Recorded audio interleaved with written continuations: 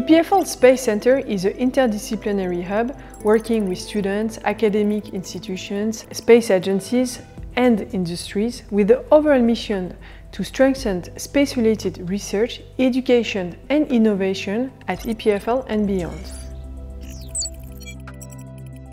Space is very broad, as you can imagine, and so is the audience of our center.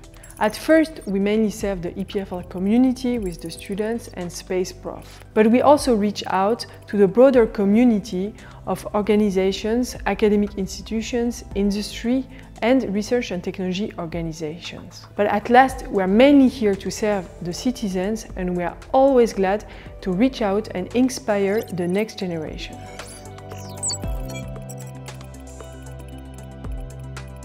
We aim to bridge society, decision makers, researchers and industry in the space sector.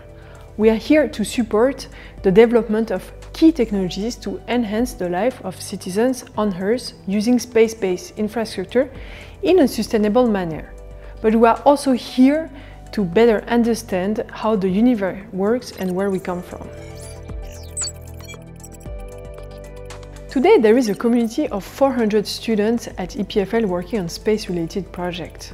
In January 2023, an onboard computer built by the EPFL spacecraft team made it to space. In June 2022, the Space Sustainability Rating was launched and it's there to encourage space actors to design and implement sustainable space missions and operations.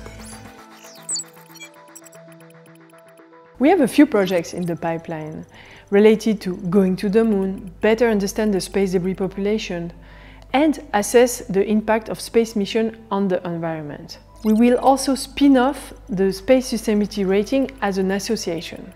A very exciting year ahead of us.